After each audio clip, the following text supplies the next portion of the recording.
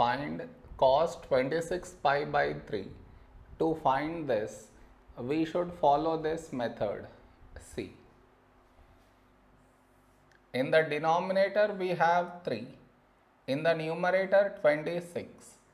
Now you should check 26 is close to which multiple of 3.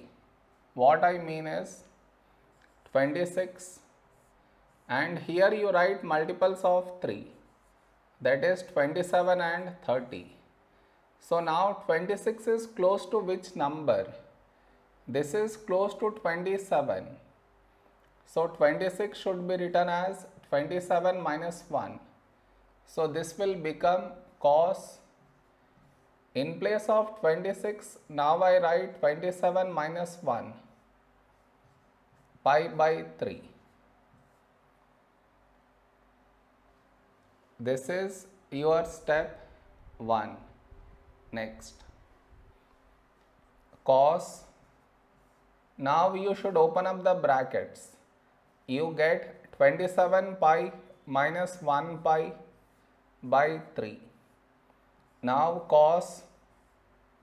In this you should split the denominator in this way. That is 27 pi by 3 minus 1 pi by 3. Next, cos. Now here you should cancel 3 ones, 3 nines.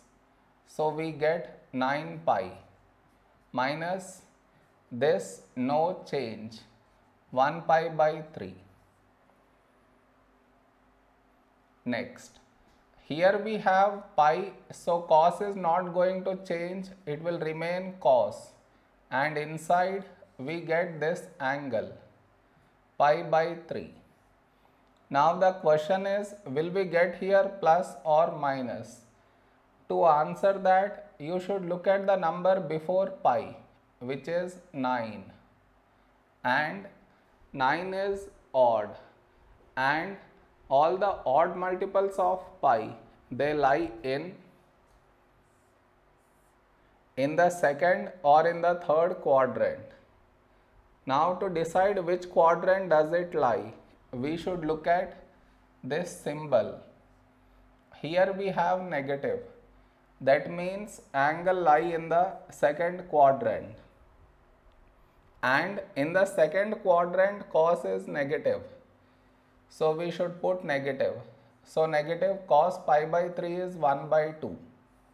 This is our answer.